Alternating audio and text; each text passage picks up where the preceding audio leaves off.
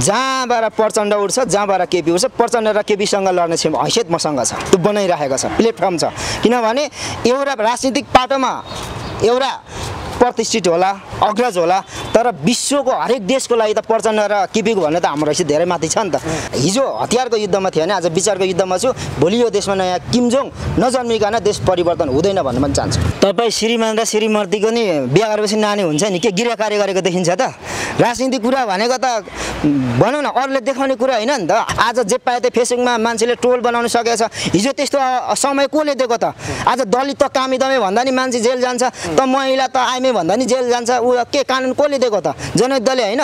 म लडाकु भनेर गर्व गर्ने मात्रै होइन। मैले देशको लागि त्यो योगदान मात्रै होइन। मैले ब्रिटिस अङ्ग्रेजी भाषामा पहिलोचोटि कलम चलाएको छु र पाँच अम्लाको सिद्धान्त प्रतिपादन गरेको छु। अहिले बजारमा सबैभन्दा महँगो पुस्तक मेरै छ सत्ताइस सय पर्छ तिनवटा पुस्तकहरू प्रकाशन गरिसकेको छु र म खेलको पनि म एउटा अन्तर्राष्ट्रिय रेफ्री अन्तर्राष्ट्रिय कोच हो।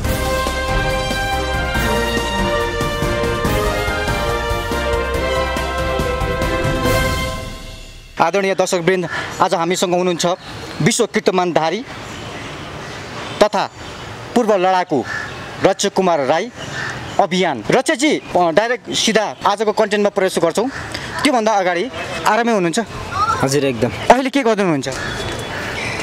अहिले अब देशमा विभिन्न चर्चा परिचर्चाको विषयहरू बनिरहेको छ जुन विश्व कीर्तिमान सम्बन्धी यसैको विषयमा हामी अगाडि बढिरहेका छौँ तपाईँ त पूर्व लडाकु पनि होइन?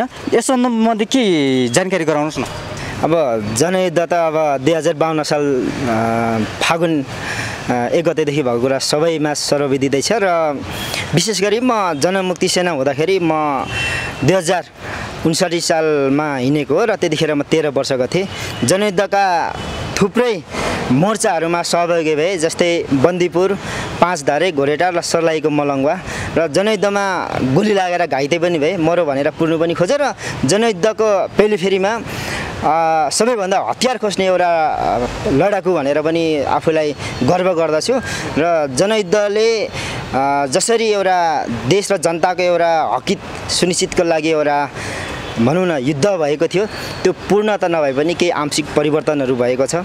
जस्तो कि अब देशमा राजतन्त्रको अन्त्य भएको छ नयाँ संविधान आएको छ आज देश संहितामा धकेलिएको छ आज केही न केही आंशिक परिवर्तनहरू भएको छ र पनि हिजो बन्दुक र बम गोलाका साथमा युद्धको मोर्चामा थिएँ भने आज पनि म भनौँ न विचारका अणुबम छ्यापस्टर ब्यालास्टिक मिस मिसाइल कुज मिसाइलहरू जस्ता अणुबमहरू लिएर म युद्धको मैदानमै नै छु भन्ने लाग्छ र अझै पनि देश परिवर्तन हुन बाँकी छ भन्ने लाग्छ। र जति पनि ज्ञात अज्ञात जनयुद्धका शहीदहरूलाई पनि म स्मरण गर्न चाहन्छु र घाइते परिवार सम्पूर्णलाई पनि र योद्धाहरूलाई पनि म सम्झन चाहन्छु।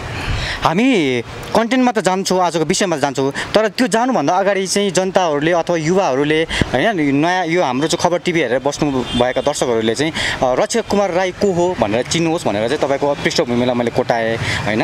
तपाईँ बाल सेना पनि बाल सेना भन्न मिल्छ तपाईँलाई? बाल सेना नभनौँ। त्यतिखेर समयमा मापदण्ड बिनाको सेना थियो। त्यतिखेर अब भनौँ न एउटा क्रान्तिकारी सेनै भन्नु सक्छ बाल सेना होइन तपाईँलाई त्यो युद्धमा होइन त्यो युद्धमा होमिँदाखेरि र अहिलेको हिजो र आजको अवस्थामा आइपुग्दा तपाईँलाई कुनै रिग्रेट एउटा पश्चाताप महसुस छ कि? होइन मैले जे गरेँ त्यो म एउटा देश र जनताको लागि गरेँ अथवा चाहिँ मेरो आफ्नो कर्तव्य पुरा गरेँ। देश त्यसै बेलाको चाहिँ सिचुएसन अवस्था अनुसार चाहिँ मैले युद्धमा होमिनु पर्ने थियो। होमिएँ जे गरेँ मैले राम्रो गरेँ भन्ने छ कि पश्चाताप छ? अत्यन्तै राम्रो प्रश्नको लागि तपाईँलाई धन्यवाद। त्यतिखेर समयको माग पनि थियो होला। अब युद्धमा मारामार हुन्छ हानमार हुन्छ यो विज्ञानको नियम हो नकार्न मिल्दैन। होइन अब यो युद्ध दस वर्ष जनयुद्ध नभएको भए सायद आज जनताहरूले यसरी मन लागि भनौँ न स्वतन्त्र रूपमा आफ्नो अभिव्यक्तिहरू बोल्ने अवसर पनि पाउने थियो होला यो सबै जनयुद्धकै उपलब्धि नै भन्ने लाग्छ। त्यतिखेर चाहिँ यहाँनिर त्यतिखेर त घाटा जनताको भनौँ न विरुद्धमा थिएन तर आज नेताहरूले गद्दार गरेर चाहिँ सोचेको परिवर्तनहरू नहुँदा चाहिँ अब दुःख लाग्छ। तर पनि अझै पनि अन्तिम विकल्प छ र हामी त्यसैको लागि लागि परेका छौँ। पक्कै पनि हजारौँ शहीदहरूको सपना पुरा गर्न बाँकी छ। घाइते अपाङ्गहरूको दुःख पीडामा मलमपट्टि भनेको देश विकास र परिवर्तन हो। समग्र जनताको भनौँ न एउटा योग्यता अनुसारको काम र काम अनुसारको दाम नै हो। त्यसको लागि नै पनि मैले भनिहालेँ फेरि पनि हिजो हतियारको युद्ध आवश्यक थियो। आज विचारको युद्धमा हिजो सिपाही थियो भने आज एउटा शान्तिपूर्ण एउटा वैचारिक क्रान्तिको एउटा योद्धा एउटा कमान्डर बनेर म फेरि पनि लागि परेको छु। यो म दर्शकहरूलाई पनि म बताउन चाहन्छु। जहाँबाट प्रचण्ड उठ्छ जहाँबाट केपी उठ्छ प्रचण्ड र केपीसँग लड्ने क्षम हैसियत मसँग छ। त्यो बनाइराखेको छ। प्लेटफर्म छ।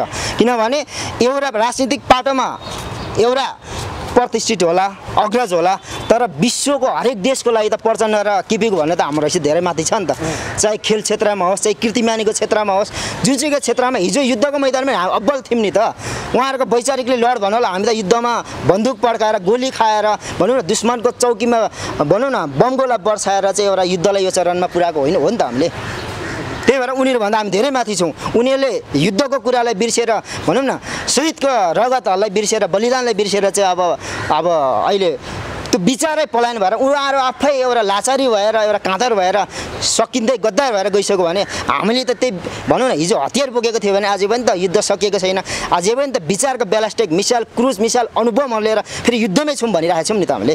देश र जनताको लागि भनेर त्यो एउटा चाहिँ तपाईँ युद्धमै होमेर आइसकेको व्यक्ति भएको हुनाले यो यो कुरालाई यो त्यो पृष्ठभूमिलाई चाहिँ कोटाइरहेको अवस्था हो। यसरी हामीले यसरी हेर्न सकिन्छ। अब तपाईँले जस्तै तपाईँहरू त अब एकदमै ओजेलमा परेको छ देखिरहेको छ।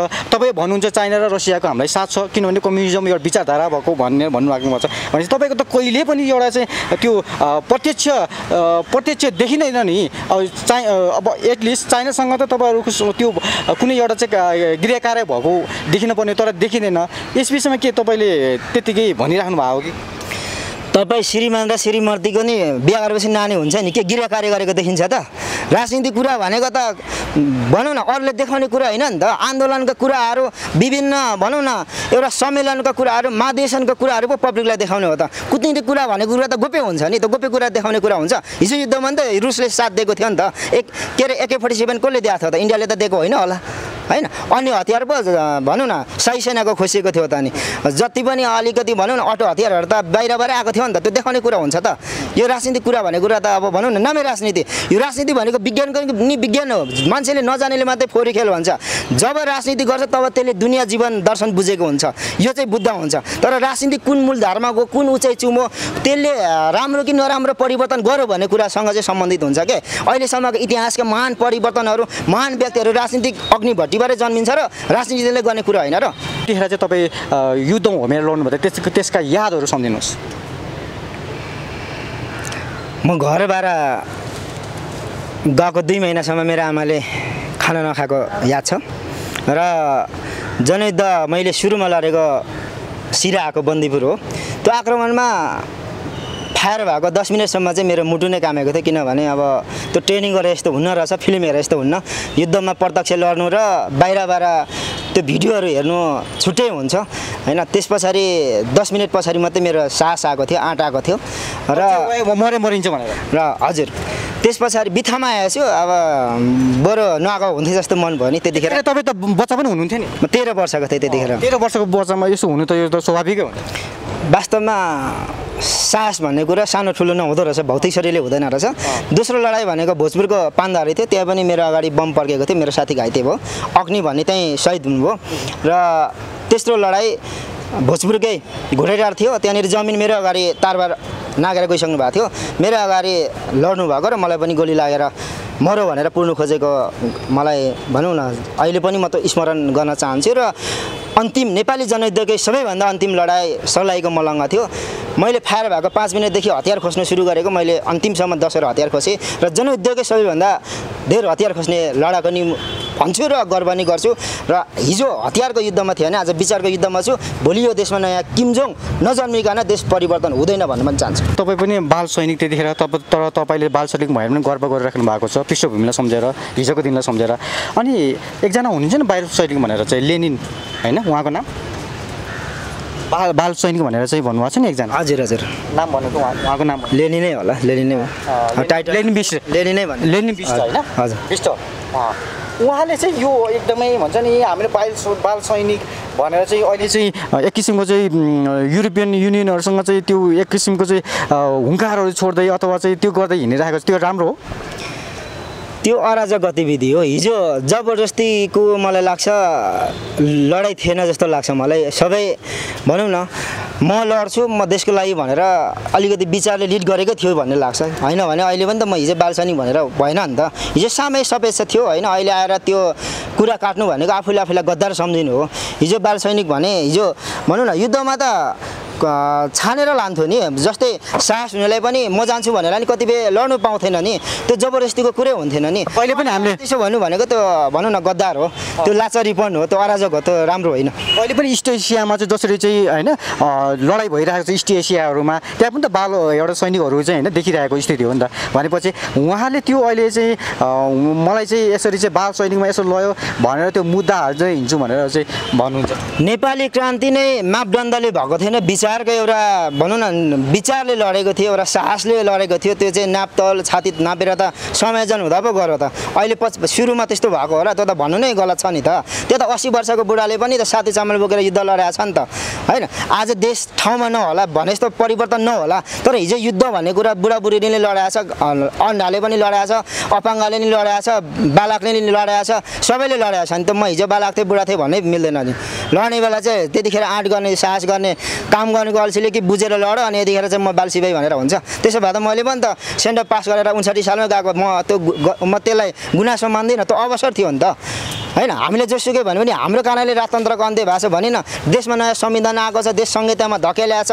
हरेक सापेक्षित परिवर्तन त भएको हो नि त धर्म धर्मनिरपेक्षको कुरा भएको छ। आज जे पाए त्यो फेसबुकमा मान्छेले ट्रोल बनाउन सकेको छ। हिजो त्यस्तो समय कसले दिएको त?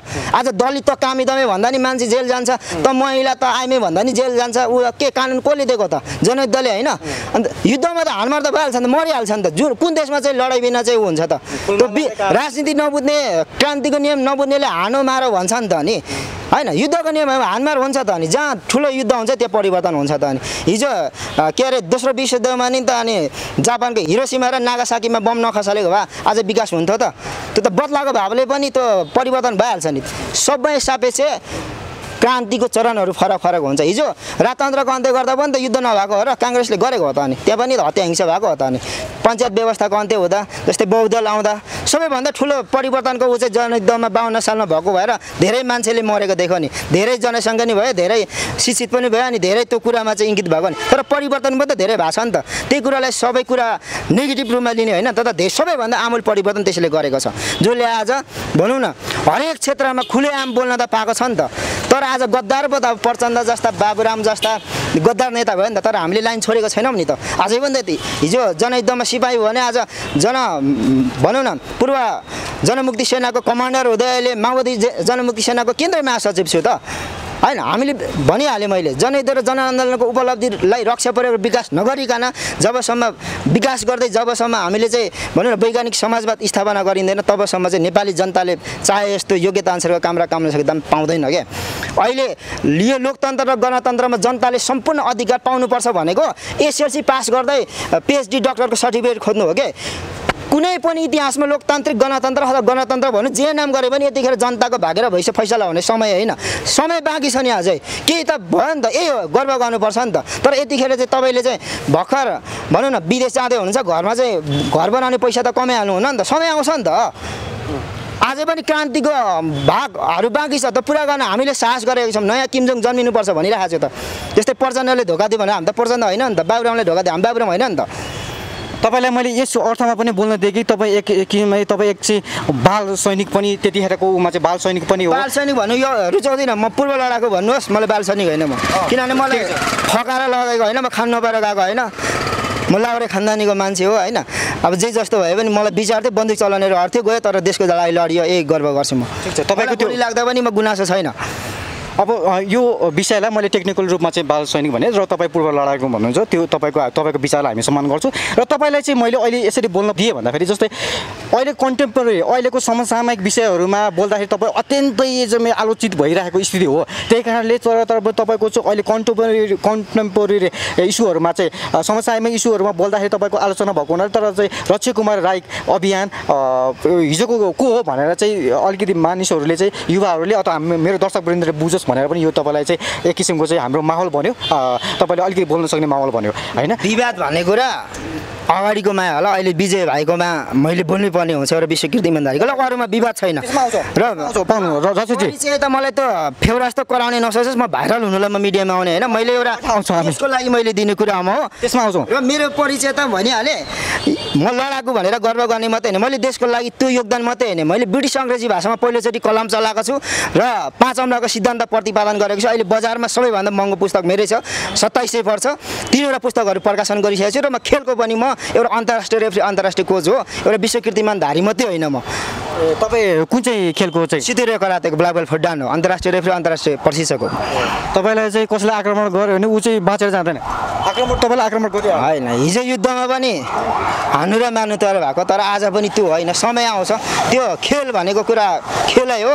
त्यो युद्धको लागि प्रयोग होला भन्ने लाग्दैन तर भइपरि आउँदाखेरि अछुतो रहँदैन। अन्तमा यस विषयमा के छ भने भन्नु हत्र भन्नुहोस् हामी सक्यो।